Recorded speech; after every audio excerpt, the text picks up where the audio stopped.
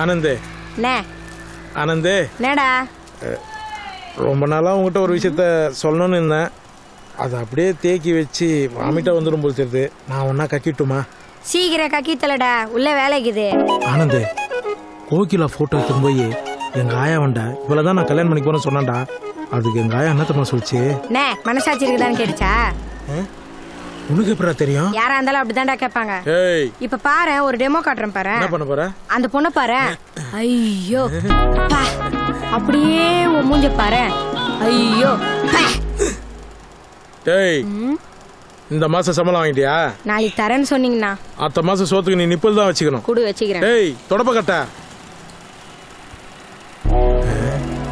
கோகிலா ரொம்ப எம்பாத முடி ஃபேன்ல மாட்டிக்க போகுது. அவன அவசரமா பேசுறேன் வேலை பாரு